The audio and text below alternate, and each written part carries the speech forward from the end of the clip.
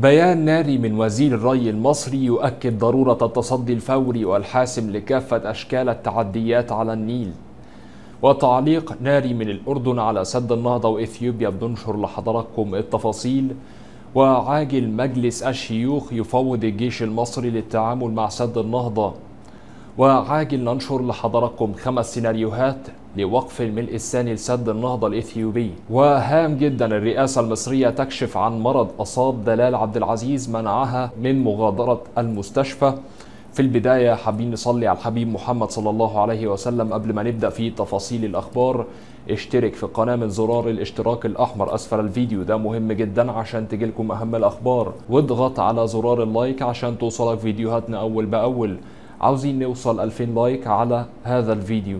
قبل ما نبدأ في الأخبار اللي بيحب مصر ووطني فعلا يفجر التعليقات بكلمة تحيا مصر وانتوا قدها وطنيين نبدأ بتفاصيل أول خبر معانا وتعليق ناري من الأردن على سد النهضة وإثيوبيا و أكدت وزارة الخارجية الأردنية أن الأمن المائي لمصر والسودان هو جزء لا يتجزأ من الأمن القومي العربي وأن المملكة تقف بالمطلق مع مصر والسودان في حماية حقوقهما. الخارجية الأردنية شددت في بيان صادر صدر عنها على أهمية التوصل لحل تفاوضي لمسألة سد النهضة بما يحفظ حقوق جميع الأطراف في مياه النيل مؤكدة على ضرورة عدم القيام بأي عمل أحادي الجانب وملء السد دون اتفاق عادل على أساس القانون الدولي. وبينت أن الجهود المكثفة التي تبذلها كل من مصر والسودان للتوصل لاتفاق تفاوضي حول مسألة السد تعكس حرصهما المشترك على تحقيق العدالة في توزيع مياه النيل بما يحول دون التوتر ويكون في تعاون في المنطقة. المصدر معانا كان من آر تي. يعني حابب أقول لحضراتكم الناس يعني المحترمين جدا هتلاقيهم السعوديين والناس المحترمين جدا هتلاقيهم الأردنيين والعراقيين وباقي الدول العربية ولكن دول أكتر ناس وقفوا معانا في موضوع سد النهضة. ربنا يحفظهم إن شاء الله. ويحفظ شعب مصر الكريم. لو حضرتك جيت للجزء ده من الفيديو أحب أفكر حضرتك ما تنساش اللايك للفيديو والاشتراك في القناه من الزرار الأحمر أسفل الفيديو عشان يجي لك كل جديد ونكمل تفاصيل الأخبار مع بعض. ننتقل مع بعض الخبر آخر. عاجل مجلس الشيوخ يفوض الجيش المصري للتعامل مع سد النهضة.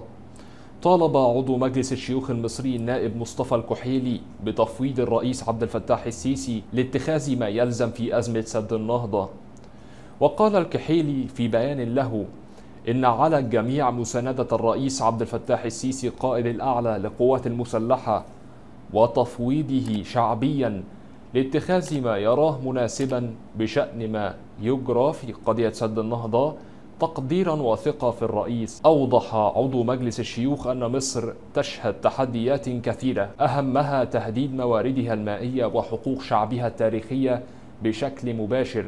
وهذا ما يتطلب تفويض القيادة السياسية باتخاذ ما يلزم في حماية حقوق بلادنا والدفاع عن أمنها القومي. نوه الكحيلي إلى أن إثيوبيا من حقها التنمية ولا أحد يعترض على هذا بل إن مصر تشجع التنمية في كل بلدان إفريقيا.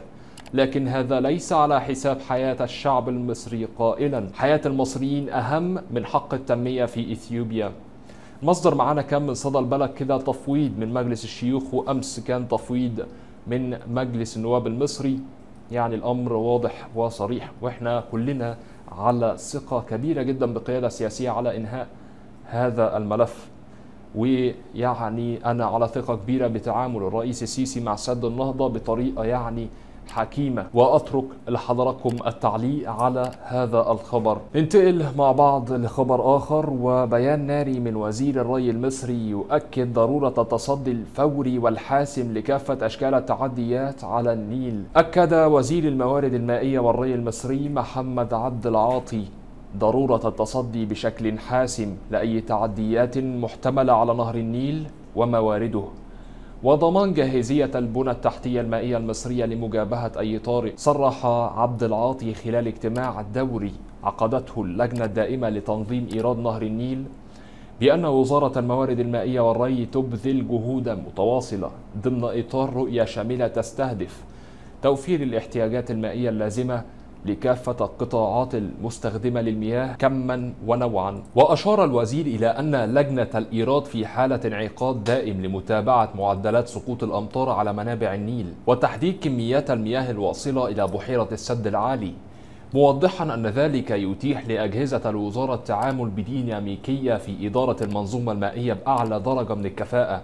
وتلبية الاحتياجات المائية للموسم الزراعي الحالي ولجميع المنتفعين. وشدد عبد العاطي على ضرورة استمرار رفع حالة الاستنفار في كافة إدارات الوزارة في المحافظات لمتابعة مناسيب المياه بالترع والمصارف والتأكد من جاهزية قطاعات الجسور لمجابهة أي طارئ وجاهزية كافة المحطات والخطوط الكهربائية المغذية لها ووحدات الطوارئ. كما أشار الوزير إلى ضرورة الاستمرار في رصد كافة أشكال التعديات على نهر النيل والترع والمصارف والتصدي الفوري والحاسم لمثل هذه التعديات وإزالتها بالتنسيق مع أجهزة الدولة المختلفة.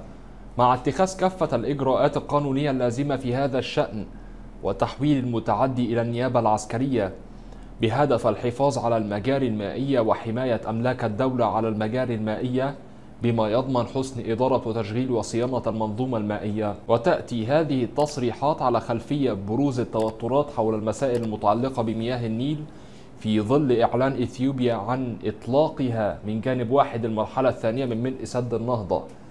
مصدر معنا كامل الأهرام اليوم السابع اليوم هو اجتماع مجلس الأمن. إن شاء الله هنشوف إيه اللي هيحصل النهاردة في مجلس الأمن. إيه التطورات؟ ومجلس الأمن هيتفق أو يعني سيتم الاتفاق بالإجماع على إيه؟ ويعني إحنا منتظرين. وأترك لحضراتكم التعليق على هذا الخبر. ننتقل مع بعض لخبر آخر وعاجل ننشر لحضراتكم. خمس سيناريوهات لوقف الملء الثاني لسد النهضة الإثيوبي. وسائل الإعلام المصرية تحدثت عن وجود خمس سيناريوهات لوقف عملية الملء الثاني لسد النهضة الإثيوبي. تزامنا مع جلسة مجلس الأمن التي من المقرر أن تعقد الخميس حول السد. صحيفة المصري اليوم قالت أن السيناريو الأول يتمثل في اقتناع مجلس الأمن بالخطورة الكبيرة التي يمثلها سد النهضة على مصر والسودان ومن ثم إصدار قرار يتبنى الرأي المصري والسوداني بإيقاف الملء الثاني لسد النهضة وعدم اتخاذ أي إجراءات أحادية من الجانب الإثيوبي. والعودة إلى طاولة المفاوضات برعاية الاتحاد الإفريقي ويتم ذلك بالحصول على تسع أصوات من أعضاء المجلس دون اتخاذ حق الفيتو. إما السيناريو الثاني هو إلزام الجانب الإثيوبي بتنفيذ جميع الاتفاقيات الخاصة بنهر النيل والتي كانت طرفا فيها منذ عام 1902 وهي الاتفاقيات التي تنص على كمية المياه التي تحصل عليها مصر والسودان. والسيناريو الثالث تشكيل لجنة دولية للإشراف على سد النهضة الإثيوبي وتقييم مدى الضرر الواقع على مصر والسودان. والسيناريو الرابع إصدار بيان صحفي يحمل معنى القرار المصري السوداني بشأن سد النهضة. وكانت تونس ممثلة المجموعة العربية بمجلس الأمن وزعت مشروع قرار بمجلس الأمن الدولي بشأن أزمة سد النهضة الإثيوبي ويحظى بدعم مصر والسودان. إما السيناريو الخامس إصدار إعلان رئاسي له قوة نافذة تجاه سد النهضة وتأثير على الأطراف الثلاثة مصر والسودان وإثيوبيا. يعني إيه السيناريو الخامس؟ إصدار إعلان رئاسي له قوة نافذة. يعني إصدار بيان رئاسي أو أمر رئاسي بضرب سد النهضة. ده السيناريو الخامس لسد النهضة وأنا أتوقع هذا السيناريو بثقة كبيرة جدا. والنهارده زي ما قلت لحضراتكم إن مجلس الأمن الدولي هيعقد النهارده عشان يناقش مشكلة سد النهضة. الدبلوماسية المصرية والسودانية كثفت التحركات خلال الأيام القليلة الماضية. لكسب دعم الدول الأعضاء بالمجلس في أزمة سد النهضة الإثيوبي مع إصرار الجانب الإثيوبي على اتخاذ الإجراءات الأحادية وإعلانه بدء عملية الملء الثاني للموسم الثاني على التوالي الخزان سد النهضة. مصدر معنا كامل المصري اليوم وأترك لحضراتكم التعليق على هذا الخبر الهام والعاجل. بإذن الله أنا مع السيناريو الخامس وهو إصدار أمر نافذ من الرئيس السيسي بيعني التعامل مع سد النهضة. دي وجهة نظري. أنا أتبنى السيناريو الخامس. عاوز أعرف رأي حضراتكم يعني أنتم بتتبنوا أنهي سيناريو؟ واكتبوا لنا في التعليقات تحت وإحنا هنقراها مع حضراتكم. وننتقل مع بعض الخبر آخر. وهام جدا الرئاسة المصرية تكشف عن مرض أصاب دلال عبد العزيز منعها من مغادرة المستشفى. كشف مستشار الرئيس السيسي للشؤون الصحية محمد عوض تاج الدين أن الفنانة دلال عبد العزيز دخلت في مرحلة متلازمة الوباء طويل الأمد وهي مرحلة ما بعد التعافي من الوباء. وأضاف تاج الدين في تصريحات تلفزيونية أن دلال عبد العزيز تعاني من آثار ما بعد الوباء وهو مصطلح يأتي ما بعد الشفاء من الوباء ولكنه يعتبر من الحالات القليلة أو النادرة. وكان تاج الدين قد أكد خلال مداخلة هاتفية في برنامج حضرة المواطن ردا على سؤال مقدم البرامج حول نسبة تعافي المرضى المصابين بتليف الرئتين بعد إصابتهم بالوباء. مثل الفنانه دلال عبد العزيز والاعلامي وائل الإبراشي قائلا إن نسبا قليله من الحالات تصل من 10 ل 15% هي التي تظل تعاني من بعض الأعراض بعد التعافي من الوباء. التي تشمل وجود ألم في بعض مناطق الجسم وبذل مجهود أقل وصعوبة جزئية في التنفس واحتقان أو حدوث تليفات في الرئة. وهذه التلفيات قد تشفى سريعا في بعض الحالات وهناك حالات تحتاج إلى وقت طويل من أجل التعافي مرة أخرى. مصدر معنا كان من وسائل إعلام مصرية ربنا رب يشفي الفنانة دلال عبد العزيز في أسرع وقت ممكن.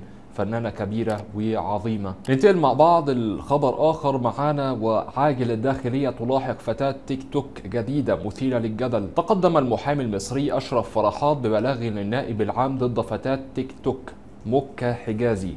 لنشرها فيديوهات مباشرة تظهر فيها شبه عارية. وقال فرحات في بلاغه انتشر في الفترة الأخيرة فتاة تدعى مكة حجازي. على نفس خطى الفتيات التي سبقتها مثل حنين حسام ومودة الأدهم وريناد عماد وهدير الهادي ومنار سامي وسما المصري على وسائل التواصل الاجتماعي تيك توك ويوتيوب. بل هي أشد منهن. لأنها لم ترتدع من المحاكمات المعلن عنها فجميعا نعلم أن الغرض من إعلان العقوبات هو تحقيق الردع العام للحد من وقوع مثل هذه الجرائم في حق المجتمع والردع الخاص للمتهم القائم بالفعل. وتابع وتلك الفتاة ضربت بالقيم والمبادئ عرض الحائط مخالفة بذلك قوانين أيضا حيث تقوم ببث فيديوهات مباشرة وتتعمد الظهور فيها بصورة غير لائقة متعدية على الثوابت والعادات والتقاليد وتعد نشرا للفاحشة وتحريضا على الفسق والفجور حيث تقوم خلالها باستعراض جسدها وعمل إيحاءات جنسية بوجهها وهذا وأن القانون قصد من تجريم الأفعال الفاضحة العلنية المخلة بالحياء حماية الشعور العام بالحياء وصيانة إحساس الجمهور من أن تخدشه مشاهدة بعض المناظر العارية أو المظاهر الجنسية التي تخل بالحياء أو تخالف الأداب العامة.